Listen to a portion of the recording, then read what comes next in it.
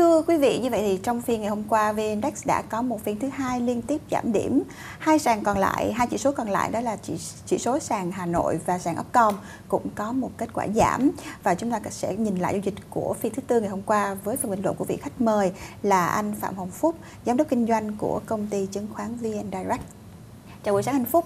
À, chúng ta thấy rằng là như vậy thì đã có hai phiên tăng điểm như vậy là ngày hôm qua thì mặc dù là um, thị trường cũng khá là rung lắc nhưng mà cũng vẫn có một vài điểm sáng uh, chúng ta thấy là tập trung vào một vài những cổ phiếu blue chips cũng như là nhóm dệt may và nhóm uh, dầu khí. Như vậy thì nhìn chung thì anh có một cái nhận xét tổng quan như thế nào?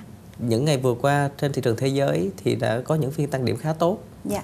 là bởi vì thị trường thế giới đang kỳ vọng vào hiệp định thương mại Mỹ và Trung Quốc. Nó sẽ có những tiến triển tốt.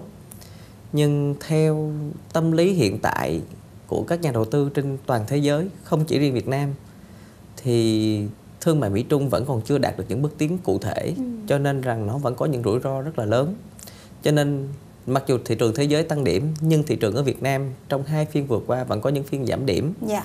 Dạ. thì theo ý kiến của tôi có lẽ rằng là chúng ta đều đang thận trọng nên dòng tiền lớn đang đứng ở ngoài thị trường ừ. để quan sát cho chờ một cái dấu hiệu rõ ràng hơn ừ. nên thị trường nó sẽ giảm điểm và xu thế giảm điểm này có lẽ trong một vài phiên tới cũng sẽ vẫn đang ở xu thế lình xình này chứ sẽ khó có sự đột phá chung trên toàn thị trường. Ừ. À, và chúng ta nói về nhóm dầu khí là một cái nhóm cổ phiếu mà ừ, tại thị trường trong nước chúng ta đã tăng điểm trong phiên ngày hôm qua nhưng mà nếu mà chúng ta nhìn ra bình diện của thế giới thì giá dầu cũng đang có những cái diễn biến khá là phức tạp như vậy thì theo anh tại sao mà cái nhóm uh, dầu khí lại là cái nhóm mà được các nhà đầu tư giải ngân nhiều trong phiên ngày thứ tư hôm qua như vậy à, theo ý kiến của tôi à, giai đoạn vừa rồi thì giá dầu trên thế giới này có một cái đợt tăng khá là tốt ừ. nên nó cũng gây ảnh hưởng một cách tích cực tới nhóm cổ phiếu dầu khí hiện tại nhưng nếu như xét trên một cái bình diện là trung và dài hạn thì tôi lại không có cảm thấy rằng là cái cái việc tăng giá này là nó sẽ bền vững dạ. bởi vì um, hiện tại thì khối OPEC nó đang cắt giảm sản lượng và những ngày vừa rồi thì bên Venezuela nó đang có cái hiện tượng là đang uh, cúp điện một cái khoảng thời gian cho ừ. nên là nó bị gián đoạn nguồn cung từ Venezuela.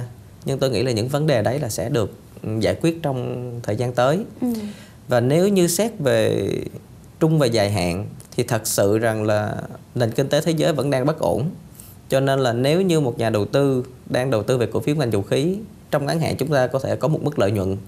Nhưng nếu là tôi thì tôi có thể tôi sẽ là chốt lời bởi vì về trung và dài hạn chúng ta phải xem xét những rủi ro kỹ hơn quan sát kỹ hơn các rủi ro của nền kinh tế thế giới ừ.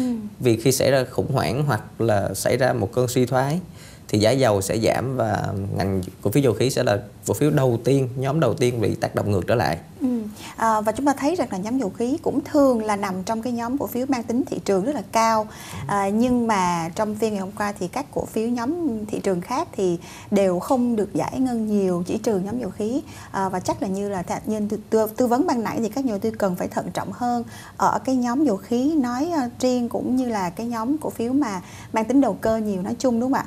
À, và chúng ta thấy rằng là đối với lại một à, vài những cái cổ phiếu blue chips tăng điểm hôm qua. Chúng ta thấy rằng là một vài những cổ phiếu ngân hàng như là BD à, và cổ phiếu gas cũng như là một vài những cái cổ phiếu bán lẻ khác. Nhưng mà à, chúng ta thấy rằng là blue chips cũng có một cái sự phân hóa và đặc biệt là nhóm cổ phiếu của Vingroup cũng đã giảm giá nhiều trong phiên ngày hôm qua.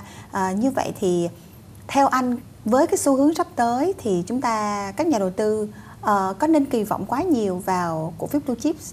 Chính là cái nhóm mà trụ cột có thể nâng đỡ được uh, chỉ số hay không? À, theo ý kiến của tôi thì giai đoạn hiện nay giá của cổ phiếu blue chip nó ừ. cũng đã phản ánh được một cách là toàn vẹn về cả rủi ro lẫn cơ hội. Ừ. Vì hiện tại là dòng tiền đang chờ đợi những thông tin chính xác hơn, rõ ràng hơn từ thị trường thế giới lẫn trong nước. Nên chắc chắn rằng dòng tiền chính sẽ vẫn ở đứng ngoài thị trường và quan sát. Thì à, nếu như là một nhà đầu tư thì hiện tại tôi nghĩ là đều nên thận trọng ừ.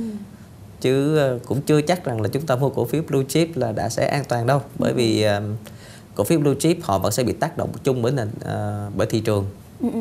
À, và như vậy thì qua những cái phân tích cũng như là uh, Ờ, theo dõi thị trường của anh thì là trong ít nhất là trong những cái vài phiên sắp tới và trong cái việc ngắn hạn thì cái xu thế uh, giảm vẫn đang nắm chủ đạo đúng không anh? Hoặc là cái việc uh, uh, mà thị trường có thể quay đầu trở lại thì cũng cũng có thể là một cái kịch bản hơi khó xảy ra. Nhưng mà nếu mà chúng ta nhìn so sánh vào các uh, vào thị trường chứng khoán phái sinh thì một vài những cái sản phẩm phái sinh cái điểm basis cũng đã tăng cao hơn. Chúng mà nghĩa là thể hiện rằng là cái niềm tin của các nhà đầu tư đối với lại nhóm VN30 cũng như là đối với lại VN uh, index trong tương lai thì đang tốt hơn, đang có một cái niềm uh, kỳ vọng nhiều hơn thì uh, anh có nhận xét gì về quan điểm của các nhà đầu tư thông qua cái sự tăng điểm của các uh, sản phẩm phái sinh?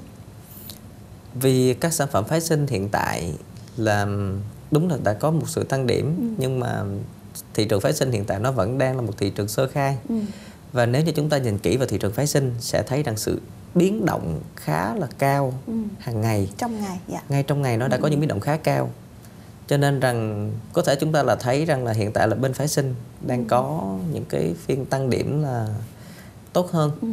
nhưng uh, nếu bản thân tôi thì tôi vẫn cứ phải đề phòng bởi vì um, thị trường hiện tại vẫn đang chờ những câu chuyện tốt hơn thì chúng ta mới nhìn tiếp được chứ nếu như chúng ta bây giờ đặt cược vào phái sinh để cho một cái niềm tin tăng điểm thì tôi lại ừ. không có cũng cũng không có thấy có những cái cơ sở nó vững chắc đúng lắm rồi. đúng không? Cái cơ sở thì không thấy vững chắc lắm. Vâng, cảm ơn anh à, Phúc rất nhiều. Thưa quý vị, quý vị vừa nghe những ý kiến phân tích cũng như là tư vấn về thị trường chứng khoán của anh Phạm Hồng Phúc, công ty chứng khoán VN Direct. Đây thì chúng tôi cũng xin được khép lại chương trình tin sáng. Hẹn gặp lại quý vị vào chương trình tiếp theo. Xin chào tạm biệt quý vị.